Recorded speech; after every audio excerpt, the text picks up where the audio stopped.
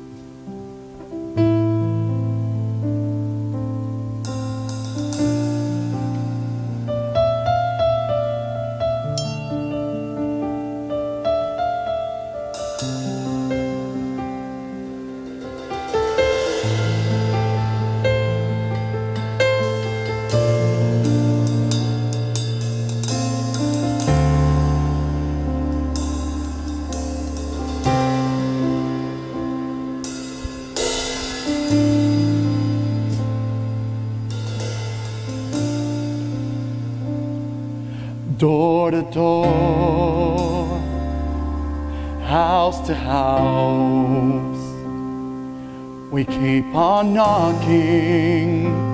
Anybody listening? We know we come from afar. Traveling strangers, we don't mean any harm.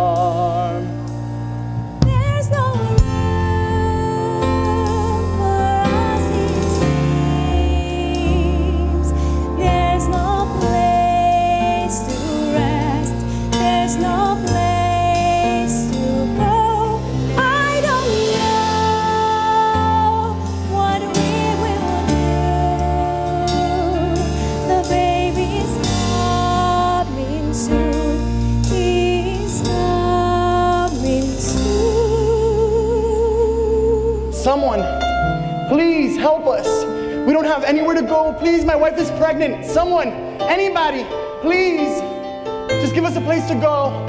Anybody, just have compassion with us, please.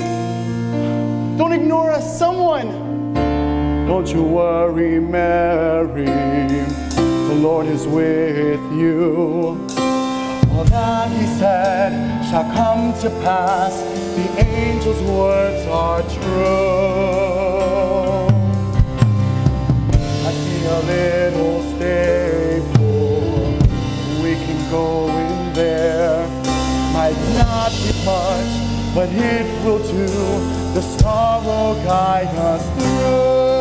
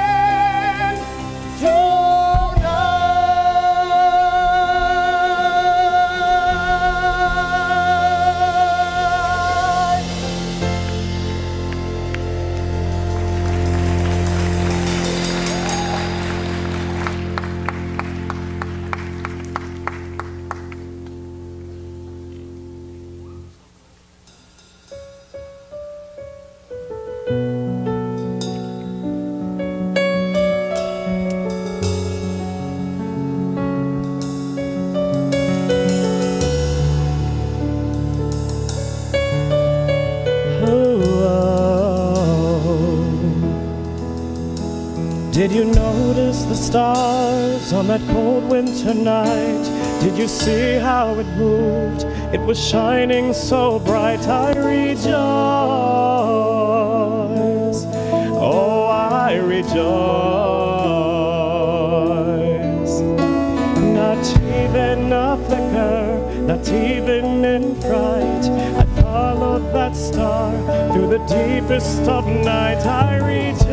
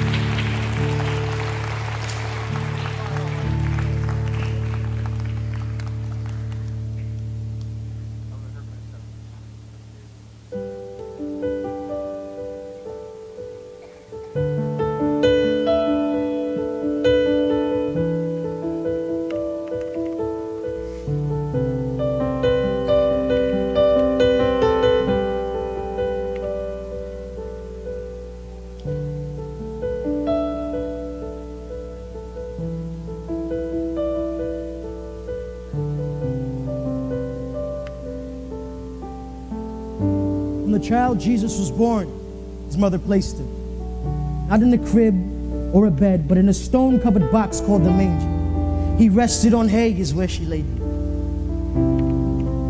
But as he lay, see, there was no room at the inn. So they lodged in wherever it would take them. But as he laid, an angel came informing three wise men where to find him. They stood by his side, feasting their eyes on his majesty majestically glowing in all his array. But who would think that one day this beautiful vessel would be traded for us and be put on display? Just then a decree went forth, and King Herod ordered Jesus to be destroyed. So on to Egypt they fled, confirming the prophecy that out of Nazareth would arise a Nazarene. The child grew stronger, and in his 12th year, Mary and Joseph traveled to celebrate Passover after the city exploded with cheer. His parents traveled back with thought that Jesus was near. But Jesus was found sitting amongst teachers, prophets, and preachers. And when his parents discovered, they were astonished. They said, Son, why have you treated us like this? Your father and I have been anxiously searching for you. Why were you searching for me?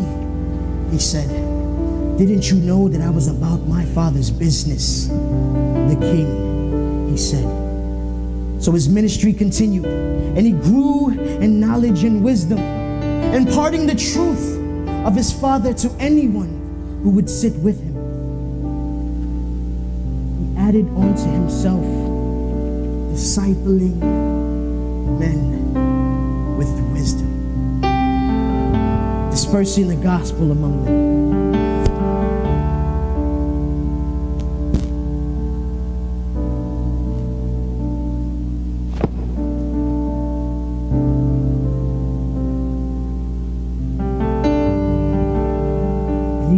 Own city, was met with much disbelief.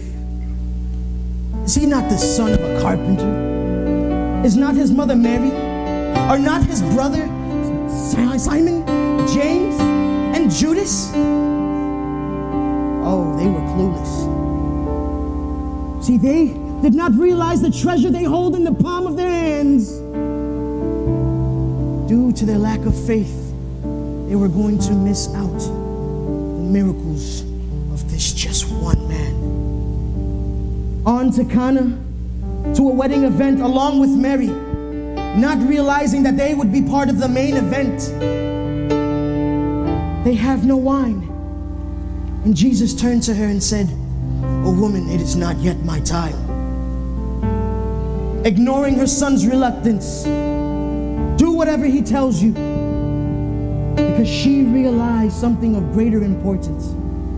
And they drew water into buckets, and for the first miracle of his time,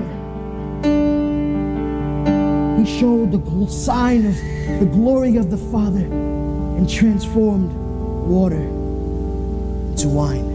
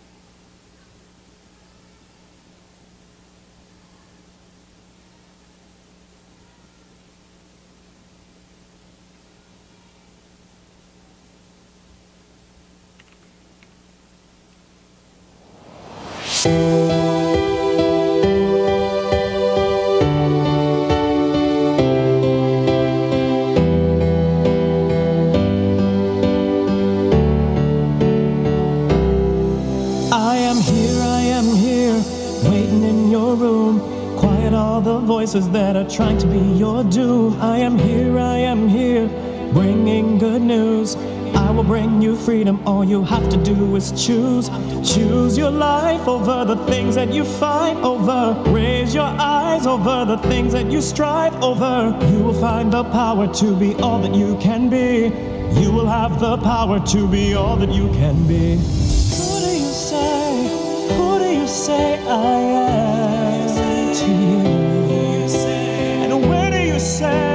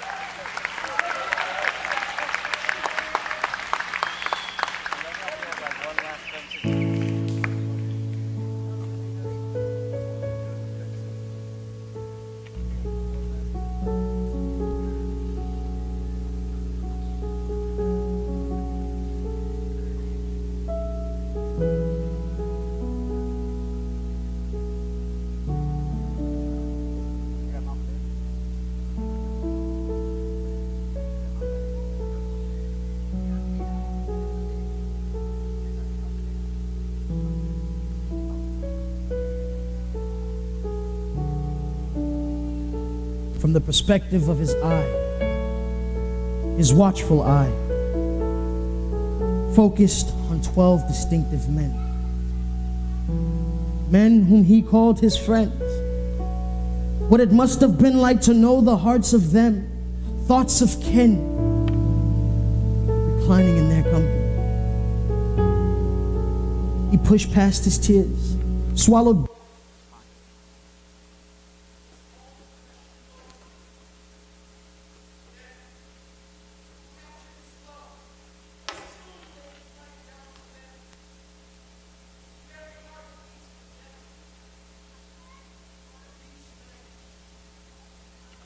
control the words on the tip of his tongue.